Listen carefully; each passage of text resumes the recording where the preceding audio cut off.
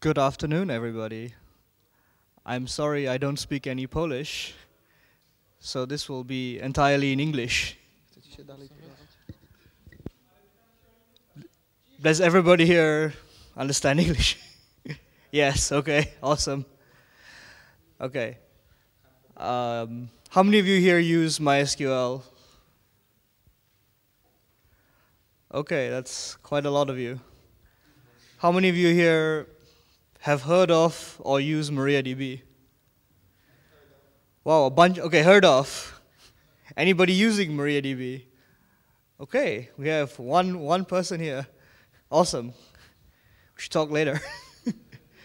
um, my my aim is to hopefully um, tell you about what's cool with MariaDB and why you should use it so that you can all migrate your MySQL off to MariaDB. Thank you for having me here as well. I'm, I'm glad to be part of the ninth edition of this conference. I work at Monty Program AB, working on MariaDB. I also used to work at MySQL um, back in the old days. We got acquired by Sun, so I also st stuck around at Sun for a while. Then I'm sure you might already know that Sun then got acquired by Oracle, so I, I left Sun long before that. And um, in previous lives, I've also worked on the Fedora project. Does anybody here use Fedora Linux by any chance? Okay, so I was on the first FESCO. Um, and I also used to work in OpenOffice.org back when I was in um, university, actually, myself. And OpenOffice.org is now also dead thanks to Oracle. I come from uh, Kuala Lumpur, Malaysia, and I also used to live in Melbourne, Australia. So if you have any questions about visiting Kuala Lumpur or visiting Melbourne or Australia in general, feel free to ask me. So, the MariaDB project has really been churning out releases, and we've only been alive for 26 months, and we've had four major releases in 26 months. So we must be working pretty hard to actually churn out new features. And also talk to you a little bit more about the entire MySQL ecosystem and what is available today for you to use, because it's not only MySQL that's available any longer. The, the most important things you should remember about MariaDB is it is community developed. And when I say community developed, it, it means that not everybody works for one company and contributes to MariaDB. Anybody can contribute code to MariaDB, and I'll show you statistics as to what the percentages are. At MySQL, there was no such thing as community contributions. Everybody had to work for MySQL. We also have more features inside of MariaDB. We are MySQL, whatever you get in whatever, the latest release of MySQL, and more features. And I think that's pretty brilliant, is that we keep on pushing engineering forward. And we are completely backwards compatible with MySQL. What that means is today, you can upgrade to MariaDB and continue, your apps will continue working thinking it's talking to MySQL. You can use the same connectors that you're currently using. You don't have to change your language. You can just upgrade. How many of you here run Linux? okay, so you run Linux, I'm sure you're quite well aware that there is package management inside of Linux. If you are using Fedora or, or, or RHEL, you can use Yum. If you're using uh, Debian or Ubuntu, you can use apt. If you're using OpenSUSE, there's um, some equivalent method like OCS or something. I forget the command, zypper, yeah, zypper. So all you have to do today is do an upgrade to MariaDB. It'll uninstall your MySQL, it'll read the same data files and so forth. It's, it's that easy. So, who's behind it? MySQL, the database, has always been owned by MySQL AB, the company. When MySQL AB sold to Sun Microsystems for 1 billion US dollars, most people were wondering, what? MySQL is free. How could Sun pay $1 billion for MySQL? It turns out that there were many people, employed by MySQL AB. And when, at the time we sold, we were 400 people actually. So 400 people um, were sold to Sun Microsystems as well as the MySQL brand and the, the, product. It's important to note that Monty Program the company that I work at now, is just one sponsor of MariaDB. In actual fact, to be able to commit to the MariaDB codebase, we are very democratic, just like, you know, say FreeBSD or any other Linux project, in where you actually have to prove that you can commit to the tree before you get commit rights. And only 52% of the people that are called Maria captains, uh, i.e. people that can push to, to, to the main branch of MariaDB, work at Monty program. 48% of the, of the contributors to, and Maria captains, people that can push, don't work at Monty program. They're all in the community, they work at different companies. Um, you can look at this list publicly on Launchpad. You will see that some are even working on, you know, very large social networks like Facebook and so forth. So it's, it's not just us that, you know, pushes code. This is truly a community project in that sense. And that's probably very important for you to think about when you are choosing an open source project. When you choose an open source project, you always want to make sure that there's an active, vibrant community around it. And MariaDB gives you that. And uh, I, I, guess there's a talk after this about how you can make money with open source, or is, is that even a possibility? And if anybody tells you that you cannot make money with open source, that's probably not true because I have never made money with closed source software. I have spent my entire career working on open source software, and um, MySQL sold for $1 billion and it only had open source software. So open source is, you know, pretty good. Why did we start MariaDB?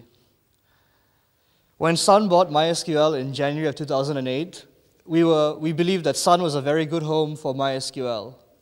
Sun understood open source.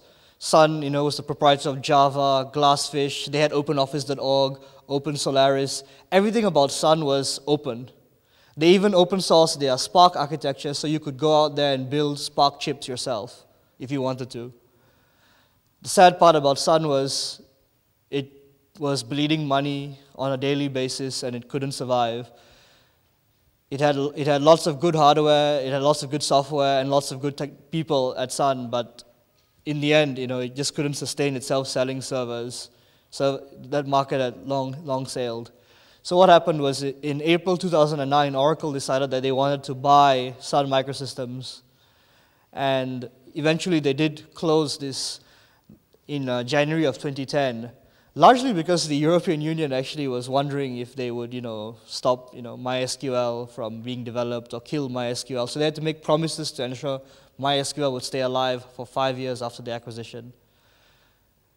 Widenius, Michael Monty Widenius, affectionately known as Monty, wished he could be here, but unfortunately he had other business to attend to in the United States. Monty is the guy who created both MySQL and MariaDB. And one of his famous things that he does everywhere he goes is he brings black vodka and lets people drink black vodka. So while Monty couldn't be here, I have brought some black vodka, which you cannot consume in this university. but you can possibly go to the clubhouse later and maybe drink or something. So this is a, is, is a Finnish tradition of his to bring black vodka, and I brought some candy so you can make your own black vodka. It's called salmiakki kossu. And um, so back to this story. In 2009, we decided, okay, it's time to make MariaDB a complete database solution. Rather than just working on one storage engine called, back then called Maria, now called Aria. Today, if you speak to anybody who works at Oracle, they will tell you MySQL is an open source product. In actual fact, even while I was at MySQL, it truly was generally an open source product. It wasn't a project. If you wanted to contribute code to MySQL, there was probably no way you could do it because you couldn't push to the tree, the trees were internal, and so forth. MariaDB is a true open source project. Everything we do is out in the open. It's available in the public eye and nothing is done behind closed doors. We do all our discussions on public mailing lists. People translate the knowledge base in public. we don't hire translators and so forth. So I'll reiterate our aims, which I already talked to you about earlier, is that we are 100% compatible drop-in to MySQL. We always aim for stable, bug-free releases, and the one important thing is we aim for high performance, high bandwidth environments in where you would put MariaDB inside. And the other most important thing is there is no enterprise or community edition of MariaDB. There's one version, and it's the GPL v2 edition of MariaDB.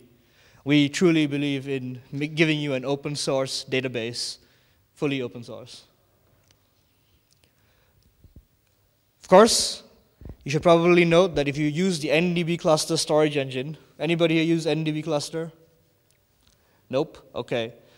There is no NDB cluster storage engine inside of MariaDB. We include the source, but we don't build it by default because MySQL also doesn't build NDB cluster storage engine by default. So we've, we have also followed suit. Everything else is the same. SQL dialect, the replication, you know, data files, all the same. In fact, a lot of people migrate to MariaDB by converting their slave to MariaDB and then eventually making that into a master and then converting the old master into MariaDB as well. It's a low, you know, low impact migration path. Of course, we include additional tools to maintain the additional storage engines that we ship. And we enable a more high performance InnoDB inside of MariaDB called XtraDB. How many of you here use InnoDB? How many here use MyISAM? How many here use something else? What do you use? Memory. Okay, so uh, raw file system uh, sometimes, just, okay. just for testing. Okay, just for testing. Okay. Yeah. Any, anybody else put up their hand? No. Okay. Oh, and you'll also notice that after, usually at the end of every slide, I, I give you a link to, to the knowledge base. I'll talk more about the knowledge base, but the actual fact is we actually write extensive amounts of documentation about all our features, all our differences, all our similarities on the internet. And if I talk to you about that, I'd have to fill up, you know, some 2,000 articles worth, and you know, you'd be here for several weeks, and not just one hour. So, as I said, we started this sort of in April 2009, and it took us one year to make our first release. And our first release wasn't very hard. It's because we had to spend so much time building the correct infrastructure for people to contribute externally. We had to learn how to use Buildbot. We had to integrate Buildbot. We had to integrate virtual machines for testing. All our bills, our upgrades, etc., all tested, you know, and it's available for you to do. You can also create a new Buildbot instance. Let's say you want to support MariaDB on some odd platform like, I don't know, SPARC 32 or something, you can do that. We also added a lot of storage engines inside of um, MariaDB, naturally. And I included this little slide here about the Croatian collations. And uh, we didn't know for the longest time that the Croatian language didn't really work very well with MySQL. Then there was a patch to fix this, and we actually fixed it because we, we, we took the patch, we, we, you know, and obviously someone that speaks Croatian would know the collation table much better than we would. And uh, we, we implemented that patch, and we, we're much ahead of MySQL. Today, if you write Croatian, anybody here write Croatian? okay, okay, um, MariaDB is much better. And following on from the Croatian collations, we also learned that if you wrote in India, if you wrote Tamil or Hindi, we also started corrupting data in certain edge cases in MySQL. We fixed that. Anybody here write Tamil or Hindi? Okay. Neither, no, nobody here, we know, knew it either, okay? That's why we didn't know the bug existed for so long. So I, I'm, I do not know if we have any problems with MySQL in the Polish language, but I presume we, we don't. I've never seen a bug open about the Polish language or Croatian or collation tables before, so I'm guessing we just work. We also decided to test MariaDB better, and we made tests for everything we have something along the lines of 98 to 99% of code coverage testing inside of MariaDB now. So um, we, are, we are a much better tested version of MySQL, and testing is, will make it more robust naturally. And that's how we actually found one very important security bug, which is still not fixed inside of MySQL. We found this two weeks ago, and we fixed it. It was a, like a one-line fix, uh, largely because we have an extensive test system. And some of you may be thinking, why are we celebrating things like the removal of mutexes or, the, or getting rid of compiler warnings when you do gcc dash warnings all? we have no more compiler warnings. And why, why should we be happy about that? Largely because we're making a more robust solution. We don't, if, by not having compiler warnings, late, when the compiler changes with later versions, we're not going to introduce new errors.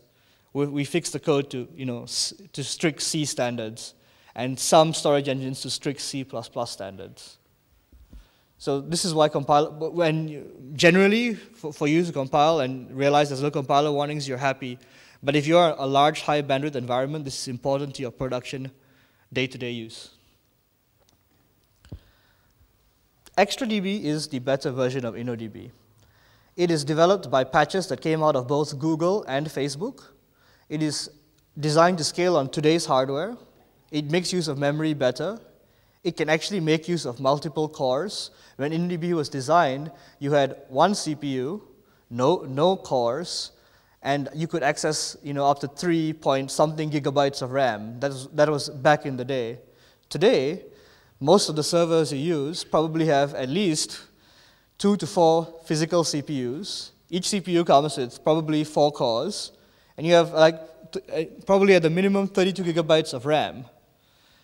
Uh, InnoDB by itself didn't know how to access all of this. XtraDB does. The good news is XtraDB, the changes inside of that, is also going up into Oracle's InnoDB. So at some stage, maybe we will not need XtraDB, but today it's still required. We also included things like adding ex extra stats inside the slow query log and adding microsecond precision into show process list. And this little uh, screenshot up there will show you the microsecond precision inside of show process list. This is kind of important because today when you do when you run most queries, because if it's a short running query, you usually get, get an answer back in one second. You want to know exactly how long it takes, especially if you have many short running queries. And uh, we have full, built-in full uh, microsecond support inside of MariaDB. We even have it as a data type. And uh, MySQL will get this in 5.6. How many of you here know much about anchor modeling? Okay. There's only one other database that has uh, implemented some sort of anchor modeling, and that is the SQL Server that comes from Microsoft. It allows you to occasionally query um, data and sometimes derive answers without touching every table uh, that it, the query refers to. And uh, usually this happens with highly normalized data. You get this as long as you have maybe third normal form and higher in your schema. And I'm sure nobody has six normal form schema unless you're a computer science professor. But uh, in practical use cases, third normal form is pretty normal. And uh, table elimination is, is just, it's free. It just comes, it comes there and it can, it can help you sometimes. Pool of threads, now known as the thread pool, allows you to use a limited set of threads when you have many short running queries. This is very, very important, largely because this feature, which is available in 2009 inside of Maria, sorry, 2010 inside of MariaDB, is now, now only available inside of MySQL Enterprise 5.5, which was just released a couple of months ago, and it's not available in the open source version. Oracle is closed sourcing some features. We are open sourcing them. So if you have a high bandwidth environment that needs to use a thread pool, and currently this is, we have in 5.1 it's libevent based. In 5.5 we change it to use native scheduling you probably want to use, use this. So if you have something like, you know, a machine with many cores, this is very handy as well. And this is not closed source by us. We, we have actually implemented a full open source version of whatever Oracle has closed source. We then made another release in November 2010 called MariaDB 5.2. This is still based on MySQL 5.1 codebase, and the one important thing we included was pluggable authentication. We also gave this code back to Oracle so that they could implement pluggable authentication inside of MySQL.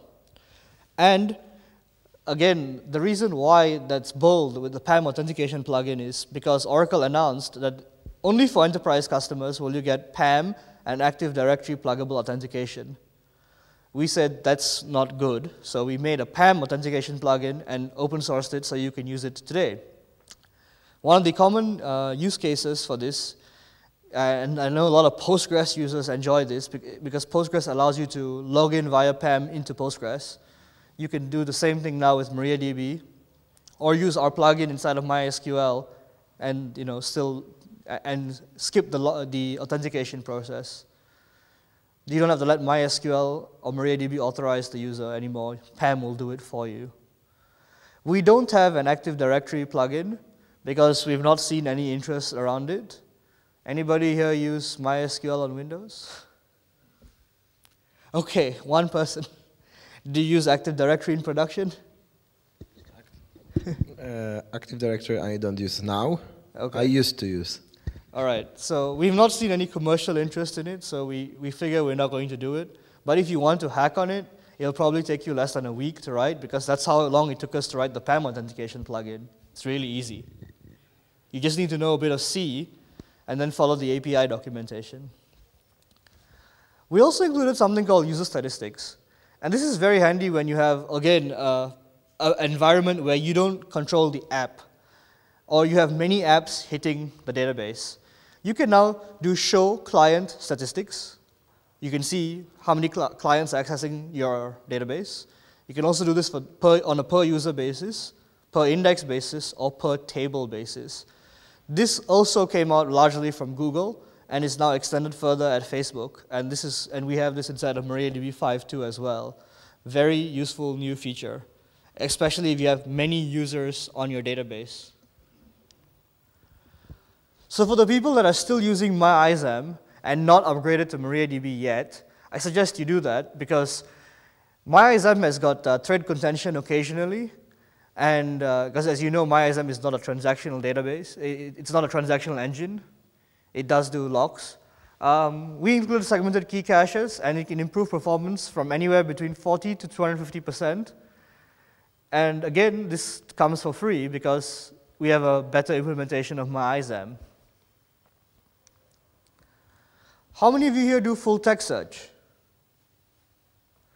Okay, so one person does full text search. So you don't even do full text search inside of MySQL then.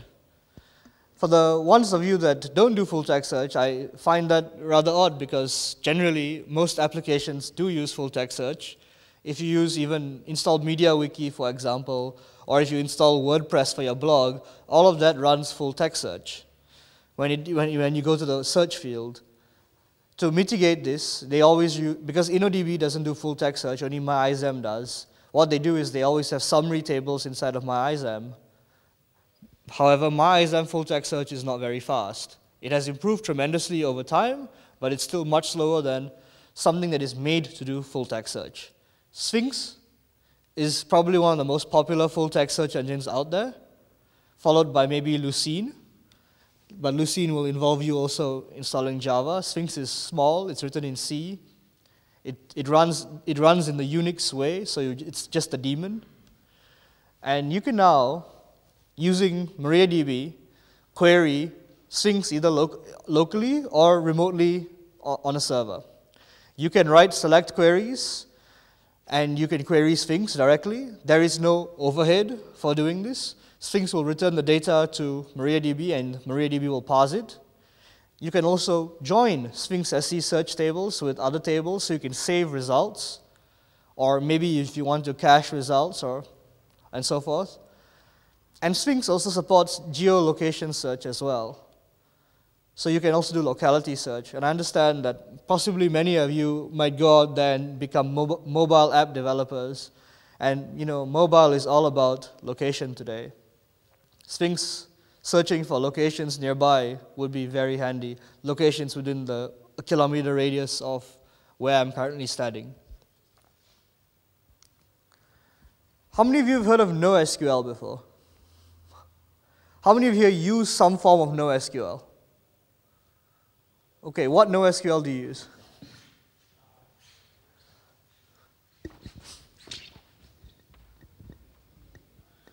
It is not pure uh, NoSQL. It's rather a cache, like uh, Memcache. Yeah. Okay. What about you at the back? Memcache as well. What about you? You use NoSQL too, right? No, there's a guy behind you. oh. Couch. Is it CouchDB that you use? MongoDB. You use MongoDB. Okay, so you're the first person that uses, well, one no, SQL solution. The Mem Memcache today is really a caching layer rather than a no SQL solution. And the good news for Memcache users is inside of MariaDB and MySQL 5.6, you can use Memcache to save your data into InnoDB. You can do put and get operations and make it persistent. So you have a persistent layer to memcached. However, with 5.3, we include something called handler socket. Handler socket skips the SQL layer and goes directly to the storage engine. So you can do simple create, read, update, delete operations. Obviously, no joins and stuff. That requires a SQL parser. In, on tables that are using, you know, InnoDB, for example. And the queries per second have improved tremendously from some 450,000 queries per second in benchmarks to 700,000 queries per second. Handler Socket was developed by a company called DeNA, based in Japan. They make games. And um, it's a lot of Perl, but it allows you to improve your performance if all you're doing is using InnoDB for simple creates, reads, and so forth. We also include virtual columns as well as dynamic columns, and we have both persistent and virtual types. And this is useful if you have different attributes to store per column, or you want to do things like business intelligence. And again, there are many business intelligence tools out there that are open source, like Pentaho, that make use of this. This is an exciting feature that we have. To make, to make your data durable, the D in ACID, every time you make, you, basically sync to the, bin, to the binary log when you're doing replication, you must also call fsync. And Since all of you here use Linux, I'm sure you know that fsync is an expensive thing to call. fsync calls are expensive. You can do man8 fsync and see how expensive it is. um, but if you want to be durable, you have to sync the binary log and you have to do this every time a transaction has, has committed. Now, if you have a large environment, this is terrible for you because it slows down replication tremendously. So we implemented group commit in the binary log because a very large social network asked us to do it. And if you can read the slides, you can probably see which is this very large social network that asked us to do it. Um, it turns out that they, were, they created two versions of group commit that were not nearly as consistent as our versions. And our version, which is the one in blue up there, is very consistent. And this is a benchmark that we ourselves did not do, but a very large social network decided to do. And you can check out the reference up there on the note as well. So um, group commit in the binary log is highly useful. Oracle's MySQL does not have this. They're planning to make another implementation of this algorithm. However, it is unclear when you will see this. So basically, if you have more than three parallel running queries, you will see the benefits of group commit because what it does is it groups the fsync. The algorithm is, doesn't commit fsync every time it writes to the database. So this is very handy. Again, very useful for high bandwidth environments that need performance.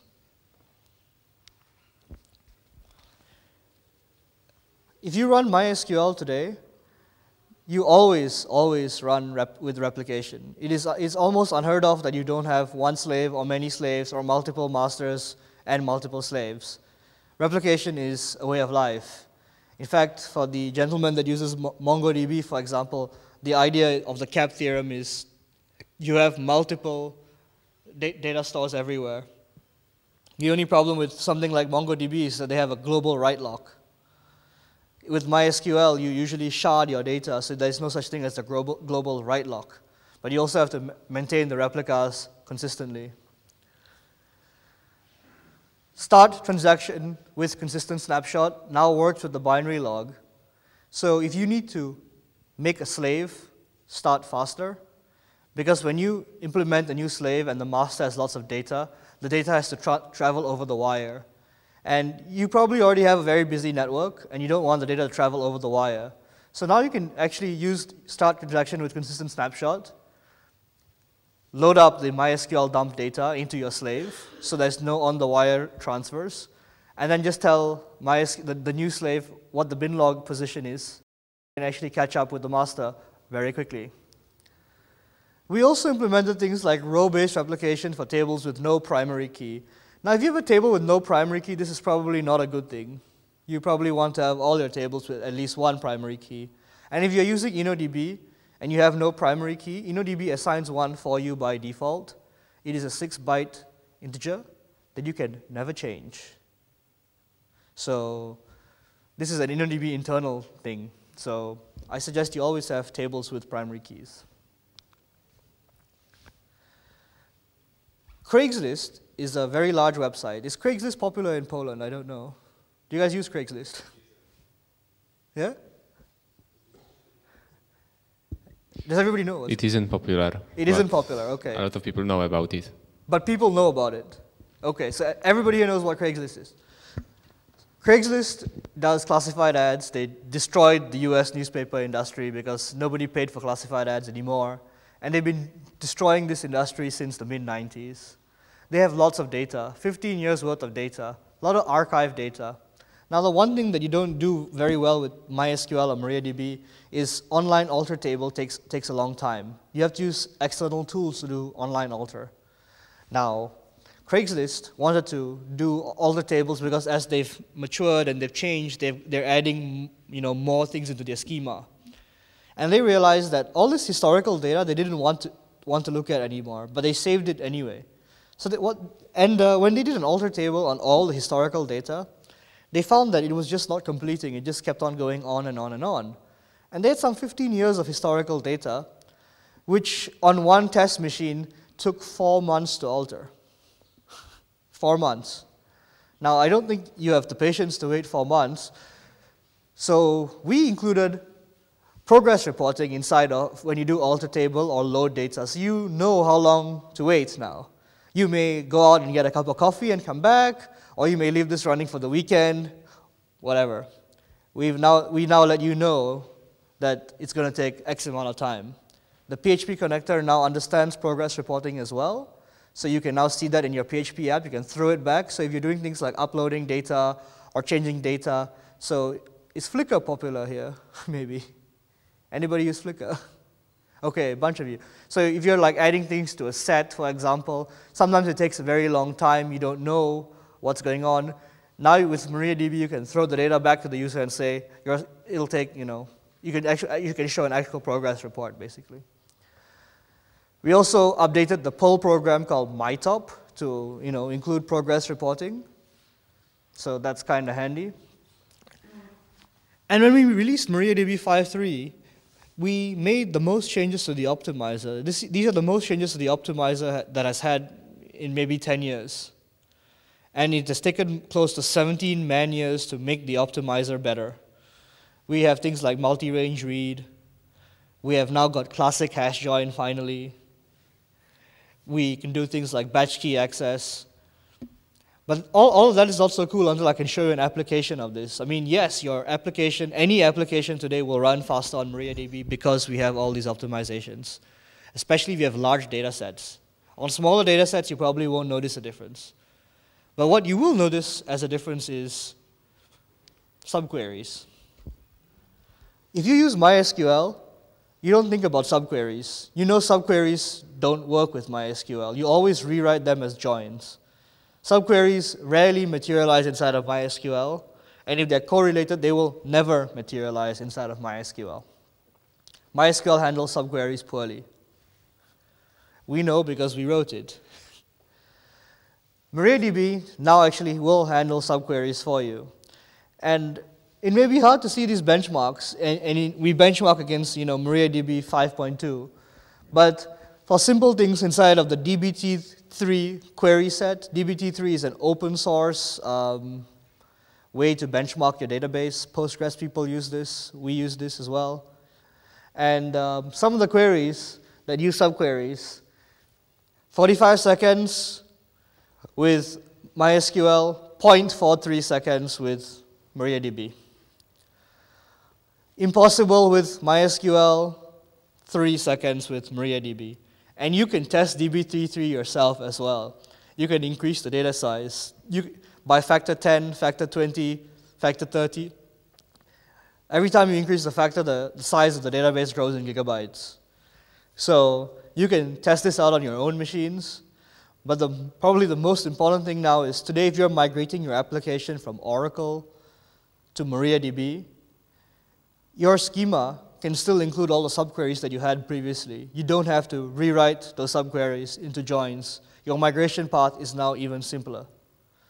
So the only, the only probable thing that you have to rewrite is your PLSQL now. Subqueries materializing is a big deal. If you're an expert at MySQL, it is not a big deal because you never use subqueries. However, if you're not an expert at MySQL or you're learning databases today or you're migrating to MariaDB, voila, we have subqueries and it will materialize and it will work for you. This is really useful. We also decided to draw you a little diagram to tell you what you may get inside of MySQL 5.6, which is currently not released, and what you can only get inside of MariaDB. And it turns out that most things you can only get inside of MariaDB. If you want a better optimizer today, MariaDB is your choice. Today is also Earth Day uh, around the world. And I think, I don't know if in Poland you have to pay for data center use and as well as uh, the electricity costs of your one U box. But uh, in Malaysia, for example, they're starting to charge you for electricity. So you want to be more efficient, and you want your queries to run faster, or you want more capacity on one machine. MariaDB will give you that.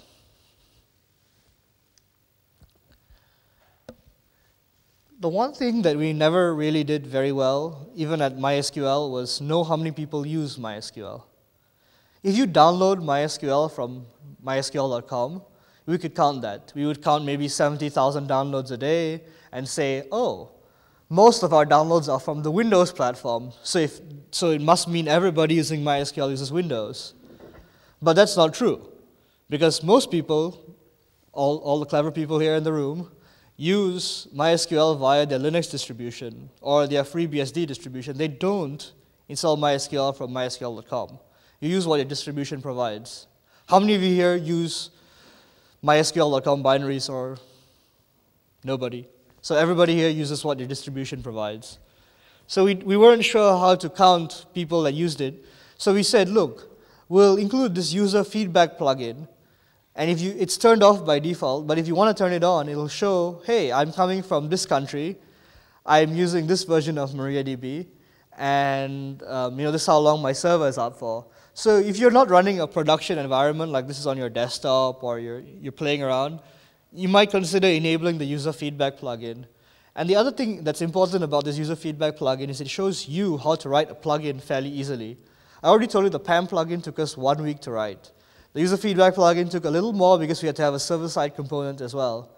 Writing plugins to extend MySQL today is really, really easy because we have a, pl a pluggable interface and a full bodied API that you can use that is well documented.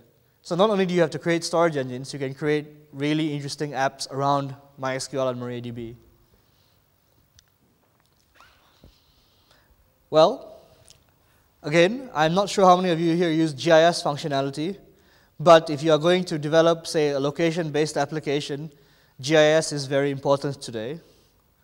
Uh, MySQL only had very simple feature access, very limited set of uh, abilities for you to actually you do anything GIS related. So the most common thing for people to use is PostGIS. How many of you here use PostGIS? Okay, only one. okay, uh, two, okay. So if you, if you are using PostGIS today, or MongoDB, you now have another choice. You have MariaDB 5.3 and greater. Because we have now got full uh, geometric types, we have full support for OpenGIS specifications, And we are now going through the process of being approved by the OpenGIS spec body to show that we comply with the OpenGIS standards. Once we're done with that, we're going to take it further and include altitude support inside of MariaDB as well. So you will also have the, other, the add, added third dimension, which is not something that you get in other databases. We also include the ARIA storage engine.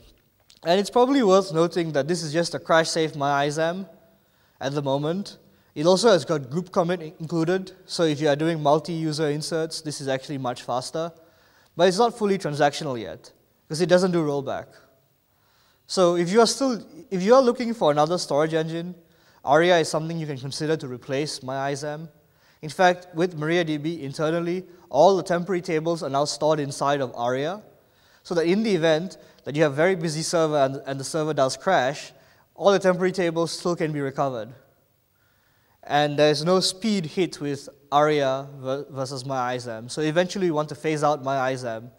And if you've used MySQL for long, you know that MyISAM replaced ISAM.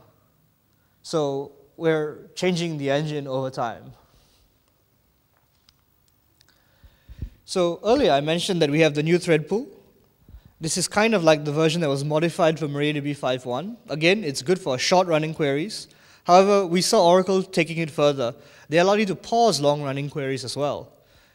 Not one to be let down, we decided to also implement the new thread pool inside our MariaDB 5.5 to allow you to pause long-running queries. And we, we went one up. The Oracle version will minimize concurrent transactions. So if you have way too many transactions, eh, it'll start pausing. It'll, it'll basically say, no, we, we don't want to accept anymore. And that's when you start seeing usual error messages like, you know, MySQL has gone away or MySQL is too busy. We, we don't do that. We start queuing. So we have a, a better implementation of the thread pool. And we also don't reinvent the wheel. We use, if you're on Windows, we use a native thread pool API. On Linux, we use epoll as opposed to libevent. We also work on Solaris, BSD, and so forth, all using native pooling libraries. You can check, check this out inside of you know, MariaDB 5.5 uh, using maybe the MySQL SLAP tool. MySQL SLAP is a great benchmarking tool for MySQL and MariaDB. We also decided to improve things for DBAs. One is we have an, a non-blocking client library now, and this works against MySQL as well. So you can keep on sending queries and let the server handle it, you keep on, and, and it doesn't block. You can keep on sending queries, and eventually the server sends it back to, to the client. Kind of useful if you have multiple servers and you're running things like show status and so forth. Also, sometimes we've seen that when you do select, you, people want to do things like limit at the end of it, or you want to just limit the rows that it examines. Currently, you can do limits, but you can't limit the amount of rows. And sometimes there are way too many rows, with very large data sets. Now you can terminate it with limit rows examined. MariaDB 5.5 went GA maybe about two weeks ago. It got quite a lot of press because of all the enterprise features that we included that isn't currently available inside of MySQL Community Edition. You can check out the release notes. In fact, today, if you're using MySQL, there is actually a, a, fairly big security hole which will be fixed in MySQL 5.5.24. You might want to consider upgrading quickly.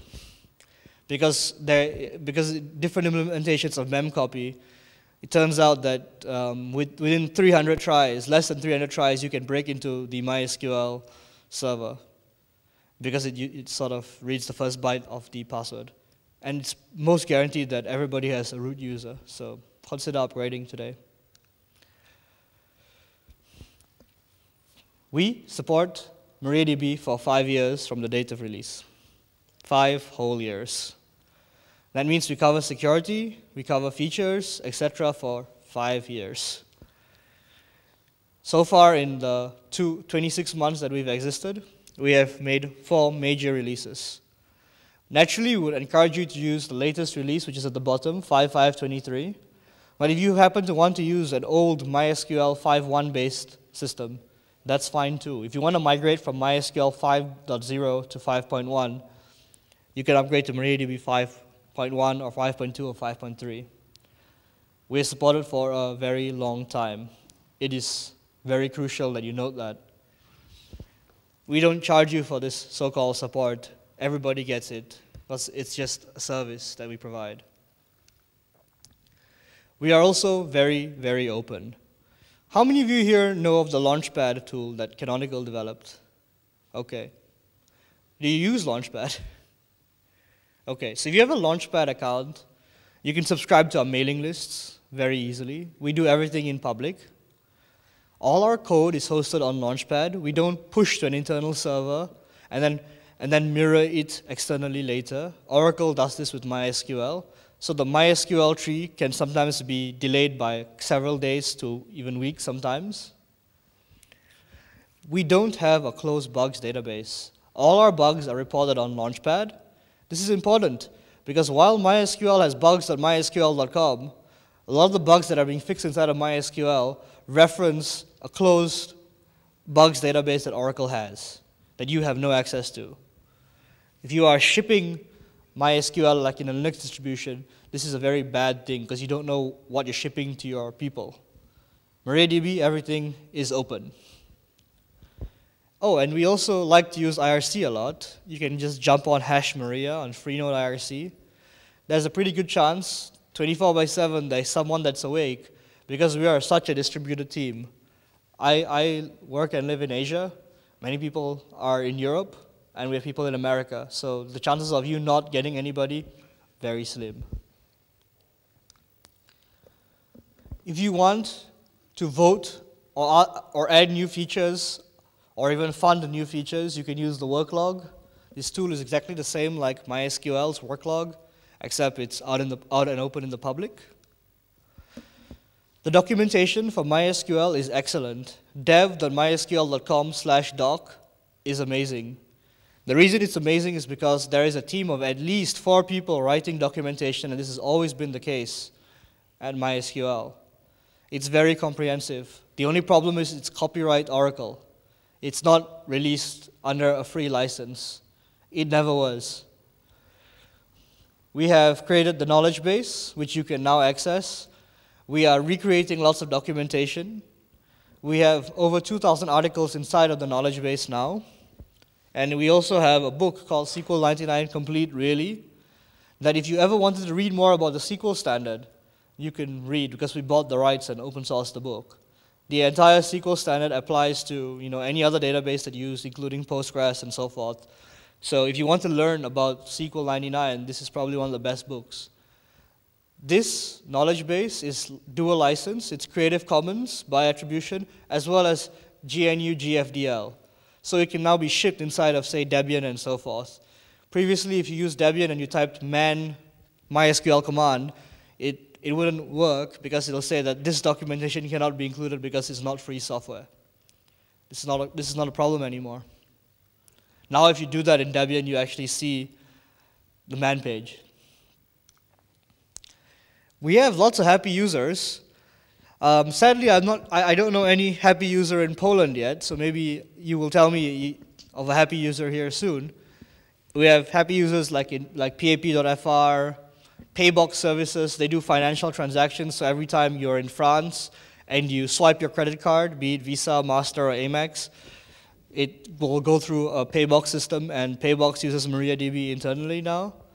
And they handle something about 30% of all credit card transactions in France. OLX is, uh, was an addition to Friendster at one stage. It's now by itself. If you want to use the cloud, platform as a service, Jelastic is a Java platform as a service provider that uses MariaDB by default as well. We have lots of happy users.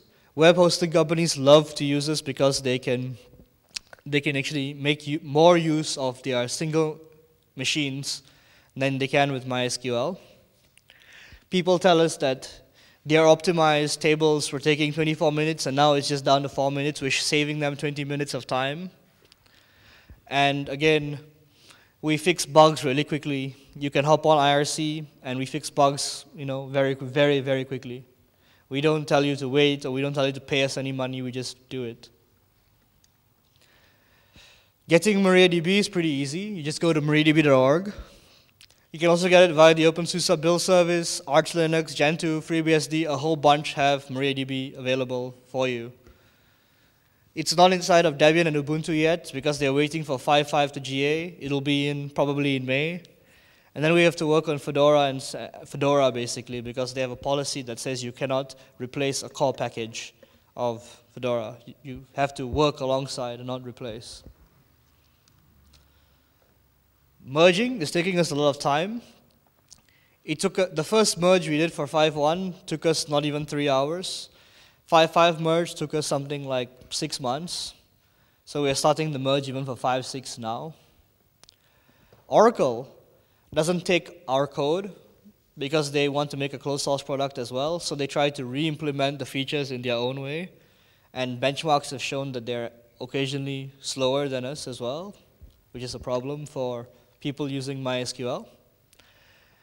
And we're looking into moving to Jira as well for the bugs and the work log. We want to have less tools and consolidate, just have Launchpad and Jira. Jira is free for open source projects to use, which is what we are, and we're planning to possibly do that.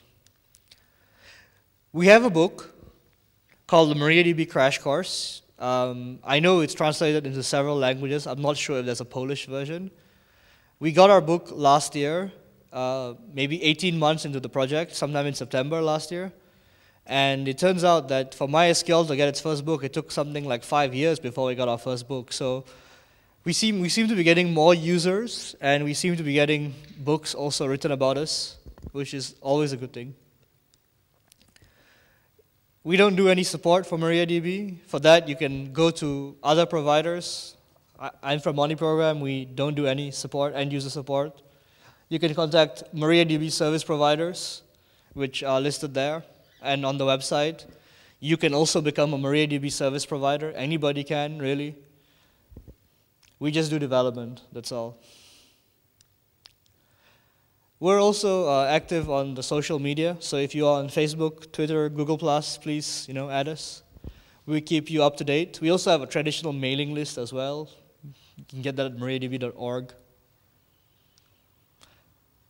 We're hiring people too. As in Monty Program is hiring, not MariaDB, the project.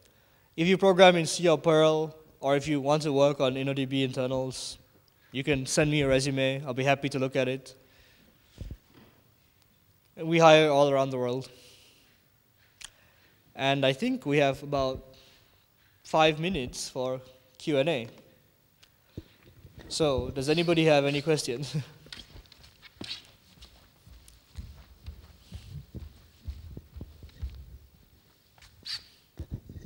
You said that uh, all the bugs are public and viewable by anyone. What about, uh, for example, critical security bugs?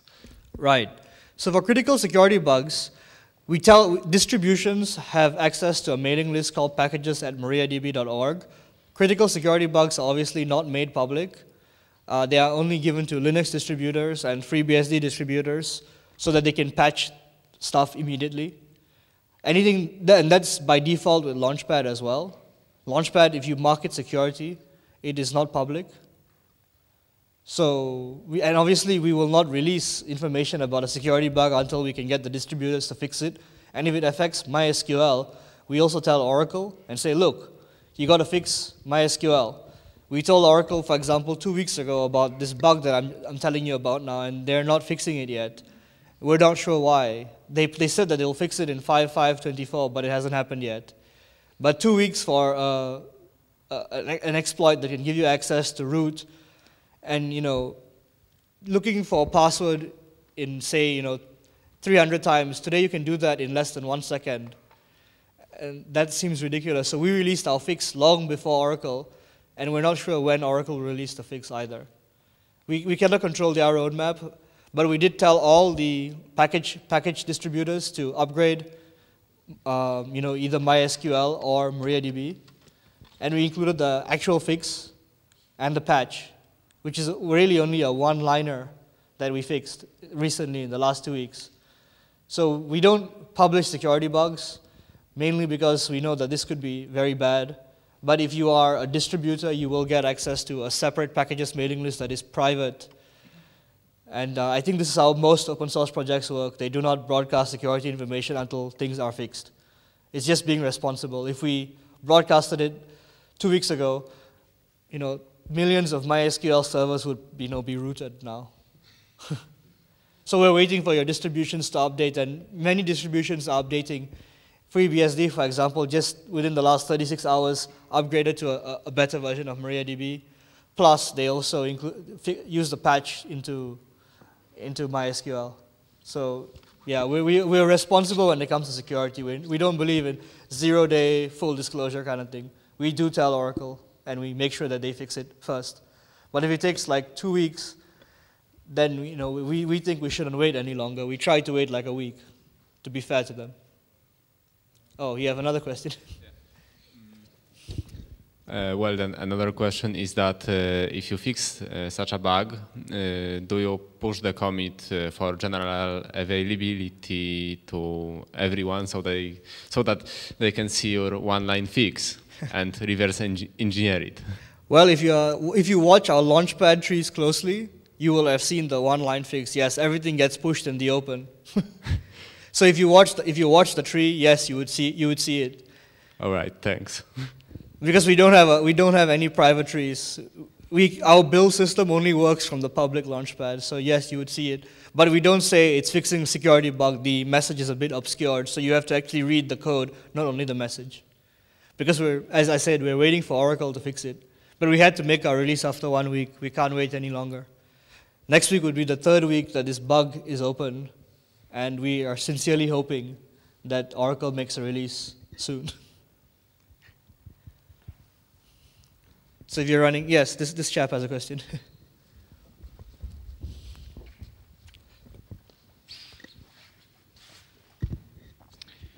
Uh, I, my question is, uh, do you have uh, consider a version for a mobile platform?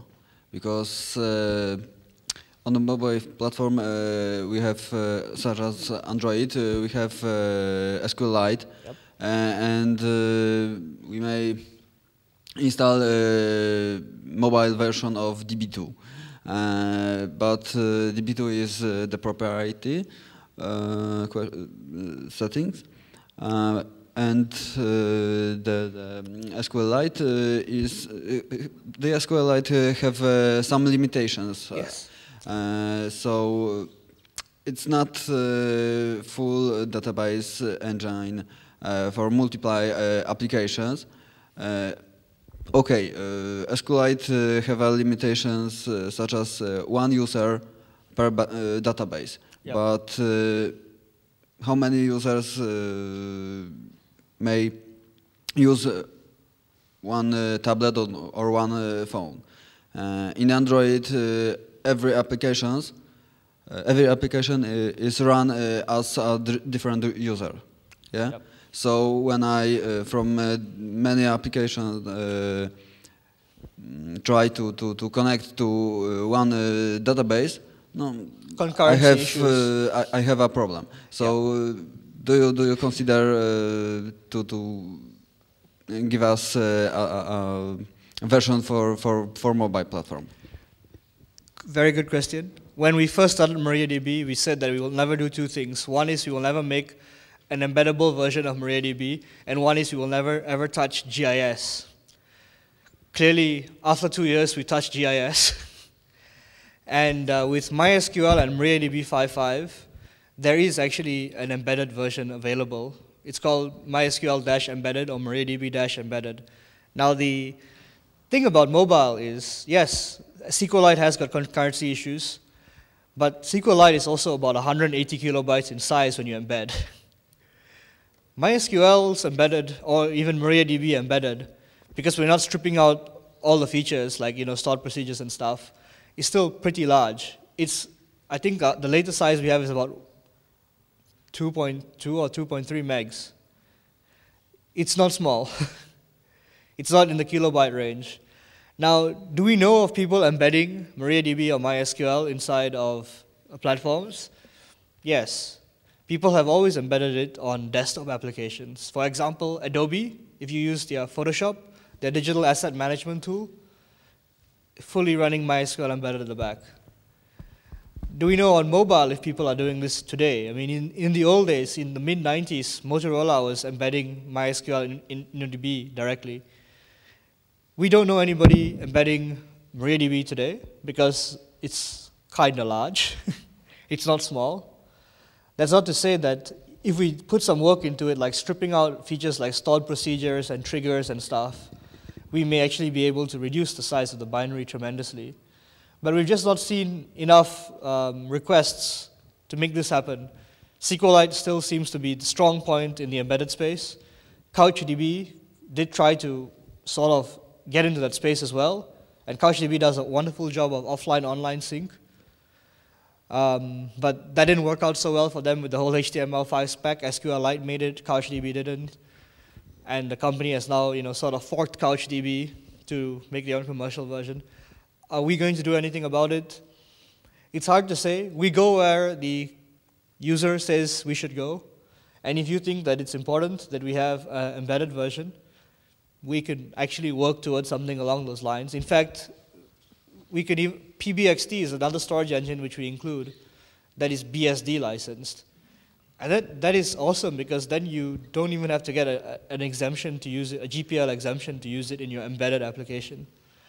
So we, we can definitely make things like this work, but we've just not seen like enough user requests for it.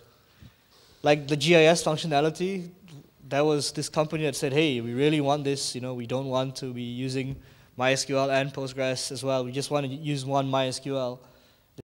We, you know, if you, we'll, we'll do it for you, no problem.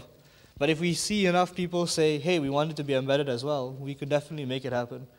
I mean, like I said, we didn't want to touch two things, and we've already touched one of the two. And with the embedded product now, we've sort of touched two of the two. It's just that it's not small enough. It's not as small as SQLite. SQLite really wins on smallness. But I know it has problems with concurrency. And that's where uh, I guess Apache Derby was trying to also come in and, and, and play JavaDB from Sun, Apache Derby. But I, I guess that project is also not going very far now that Oracle owns JavaDB or they might have killed it and it's just Apache Derby. So, yeah, if you think it's a, if you think it's important, file a feature request, and I'm sure we could you know look at it. If enough people say we want an embeddable version, we'll make it happen naturally. You can also make it happen by looking at the embedded code and saying, hmm, let me strip out stored procedures, views, triggers, partitioning. How, you don't partition on a mobile device. You strip all that out submit a patch and you might be a committer as well. So it's up to you. You can either submit a patch or say, hey, we like the feature and get enough people to vote on it. But at the moment, we haven't seen enough people saying, hey, we really want to embed this. SQLite seems to work for most people. And you know how to reach us, Launchpad. Any more questions? Oh, you have a question. You, you mentioned GIS. Can you can you make a few comments about uh, why why uh, that you didn't want to get into it and finally you did? Okay, well, we didn't want to get into it because we were traditionally weak at it, and PostGIS was doing such a wonderful job. PostGIS really just works. We got into it because, haha, purely for commercial reasons. One company in Latin America said they'll pay us a huge amount of money to make GIS functionality happen in MariaDB. They paid us, we wrote it. so there's no, no, no real reason as to why we changed our minds besides the fact that someone gave us money and said, hey, make it happen. But, but what did you do for GIS? What is the extension? Right, so we, we gave spatial, complete spatial data types. So we had to extend both MyISAM and ARIA to give you spatial data types. And then we also had to implement all the geometry algorithms inside of um, MariaDB. And the extensions took us maybe about six, six man months to do. No, sorry, six months, but maybe about 12 man months to do. And um, now we support, we have you've even got a fairly good demo. We support exactly everything you can do with PostGIS. We've even loaded the OpenStreetMaps data into um, MariaDB, and it works. In fact, for the longest time, OpenStreetMaps has been storing everything in PostGIS, but they do a lot of the analytics inside of MySQL. They dump the data and then do analytics inside of MySQL. We're sincerely hoping that at some stage they don't need to do this any longer. They can just use MariaDB. There's no need to dump the data. You can just use one, one solution. You don't need to have two databases running. Uh, we don't have a large user like OpenGIS or anything. Um, sorry, uh, OpenStreetMaps. Sorry, that's that's the that's the one. We don't have a large user like OpenStreetMaps, but um, we believe in Latin America, whatever mapping service that exists out there, clearly is using MariaDB now because, well, they paid for the feature. that's that's the only reason why we touched it. Yes, you have a question.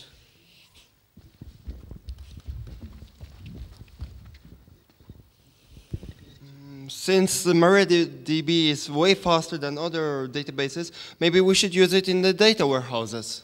What do you think about that? Right. So MySQL has never been very strong inside the data warehouse. Uh, MyISAM and ARIA would probably be your best engines for data warehousing use. For data warehousing use, column stores also make a lot of sense. And there is a column store available for MyISAM and Maria, uh, for, for MySQL and MariaDB. It's called InfoBright. Uh, they have a it's not entirely open source. That's why I don't talk about it.